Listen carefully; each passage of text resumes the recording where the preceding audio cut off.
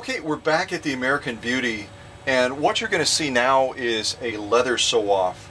One layer of this heavy grade leather, I'll just turn one of these pieces here, hopefully you can get a shot of that with the camera, would be enough to demonstrate the strength and the durability of this machine. We're going to put these two pieces of leather together and I'm going to kind of turn it this way so you can see what it is that we're about to sew through.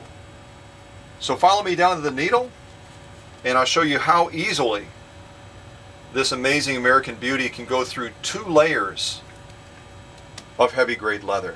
And here we go.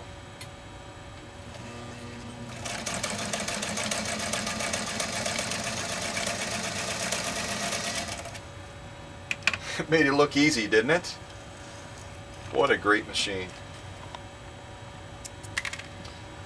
There's that top stitch. Just a gorgeous stitch quality, stitch formation.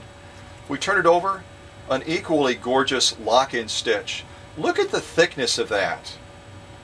Two layers of heavy grade leather.